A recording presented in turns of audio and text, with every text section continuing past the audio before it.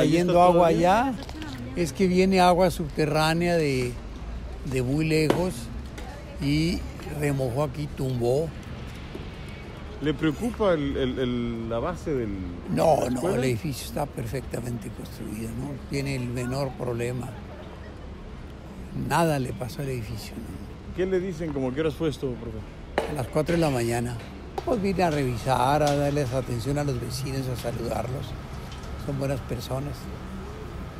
Ya más o menos quedaron convencidos que, van a- que me van a vender, ¿verdad? Hay una cascada de agua atrás de ese cerco. Se va a traer esa casa. A mí me preocupa porque me puede afectar el edificio. Allá.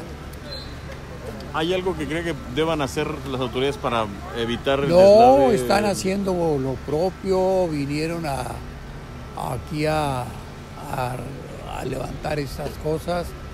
Está muy bien, muy bien. Nosotros vamos a presentar en unas semanas el proyecto que vamos a hacer ahí. Voy a hacer una escalera en la parte límite del terreno para que los alumnos sigan por acá.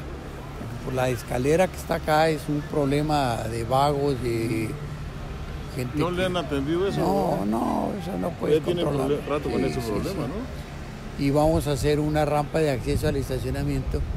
Ya más o menos estas personas aceptaron y venden. Es que bueno, sí le permite también apuntalar acá, ¿no? Y, Muy bien. y apuntalar allá todo, hacer estacionamiento todo abajo.